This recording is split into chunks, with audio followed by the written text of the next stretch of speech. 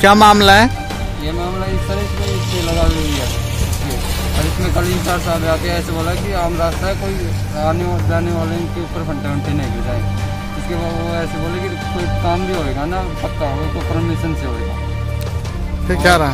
काम भी बनता है तो गाँव गाँव की ज़मीन है काम काम बंद करा रखा था और ये लॉकडाउन में काम चला लिया। मतलब गाँव वालों ने गाँव का भी बात है बंद कर दिया गाँव में गाँव- विवाद के बावजूद काम बनता लेकिन बाद भी काम लॉकडाउन मतलब सहमति से सरपंच हो या प्रशासन हो प्रशासन की सर